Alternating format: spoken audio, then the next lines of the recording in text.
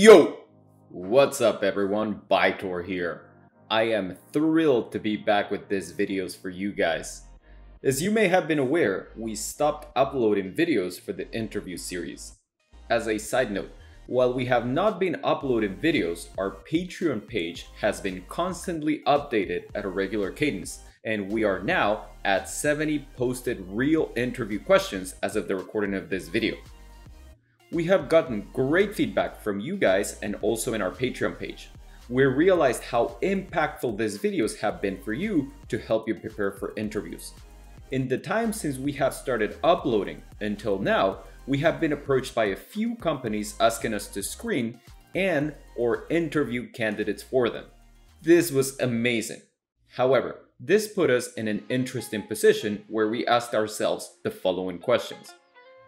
First, how can we show our clients that we are impartial given that we have a paid Patreon site?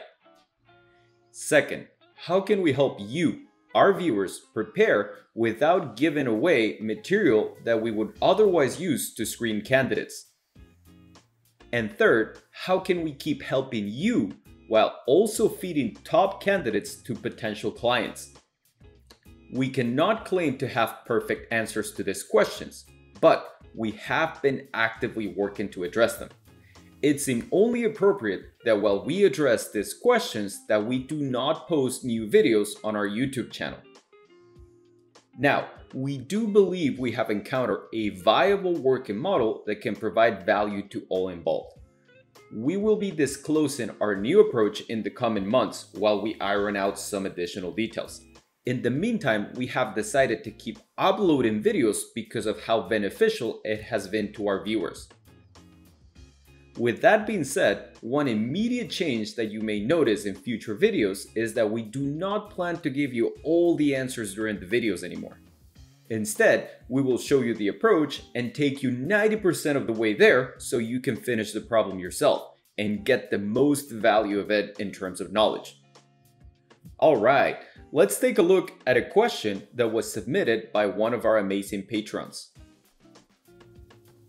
In this particular example, you will either be shown the following circuit or will be asked to draw it. Then, the interviewer will simply state, Can you draw the voltage and current waveforms across the capacitor as well as the current through the transistor given the voltage waveform at the gate of the transistor? As it is tradition, we are going to give you about 10 seconds to pause the video and try to answer the question yourself.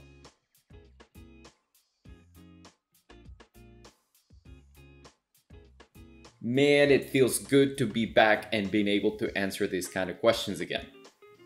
Let's dive in. Let's start by dividing the waveform into sub-regions. Let's call this region 1, 2, and 3. As you can already tell, it would be somewhat trivial to draw the waveform for region 1. If you do not see it immediately, don't sweat it. Take your time to digest it. If you are new to this channel and the Hardware Ninja philosophy, and you proceeded to draw the waveforms for the entire problem, or even subregion 1, we can tell you already that you would be wrong, and you are forgiven for committing this mistake. If you are a seasoned ninja, you should already know what the first move here should be, right? Our philosophy is to always ask questions first. Dependent, dependent on your level of experience, interviewers will put you in very ambiguous situations and wait for you to seek help clarifying the problem. For example, would your answer look differently under these three conditions? 1 assuming an ideal device. Second, assuming a real device. And third, assume everything is ideal except that the threshold voltage of the device is negative. There are many possible answers to this question dependent on what the interviewer is after. We have many of this style of questions in our Patreon channel.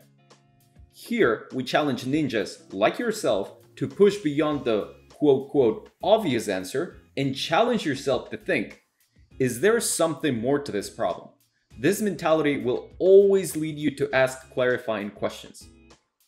Let's get back to the problem and assume that for now we ask the question, can I assume the device to be ideal? And the interviewer replies, no, let's assume some idealities and some non-idealities. Let's say the device has a threshold voltage of half VDD and an on resistance of R prime. Everything else you can assume to be ideal. Maybe now there is enough information to tackle the problem.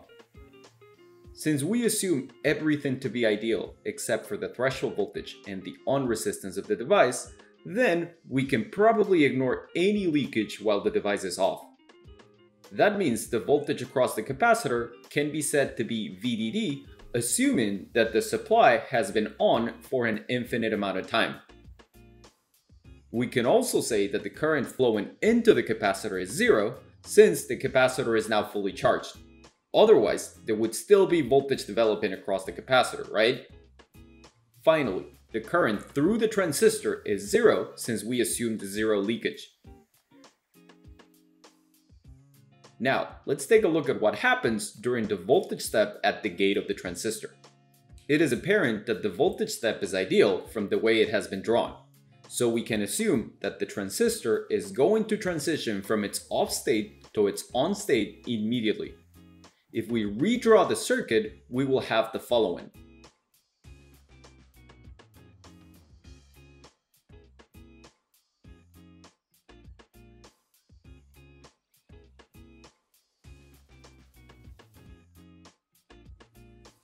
Now, let me cheat here for a second and get ahead of the problem. Let me ignore what happens during the transient event and instead focus on what would happen if the gate voltage was maintained for an infinite amount of time. We can quickly realize there is a resistor divider here that will set the voltage at the Vout node. That means the capacitor will have to discharge from its initial VDD voltage to a value of VDD times R plus R prime divided by R times R plus R prime. The discharge path is here. We can identify a capacitor discharging through some resistors. We have seen this type of problem many times. We know it will be an exponentially decaying function, right? So the voltage across the capacitor during the transient event will look like the following. Now let's get back to that transient event and let's try to draw it. The voltage across the capacitor during that transient event will look like the following. While the current coming out of the capacitor will be the following. We are on purpose here not annotating what the magnitude of these values are so you can work them out yourselves. Now, what is the time constant of this structure? Again, we will not write it here so you can work it out yourself. Now it would be a good time to tell the interviewer the following. Since we have no notion of how long the input voltage stays high, is it okay to assume it is many many times longer than the time constant of the circuit? Let's assume the interviewer agrees with us. So we finalize our drawing for the second part of the problem. Finally, what should the current through the transistor look like during this phase? We have the current that will be drawn from the power supply as well as the current that will be discharged from the capacitor. Once again, we will leave this as well as the rest of the problem for you ninjas to tackle on your own. If you need additional help to solve this problem or would like to check your answer with us, feel free to contact us through our Patreon channel. If you were able to nail the answers, let us know in the comments.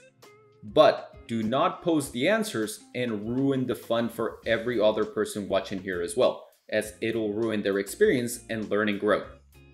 That's all we've got for you today. Thank you so much again for your patience and for bearing with us while we go through this journey ourselves. We appreciate the support and we appreciate you. Cheers.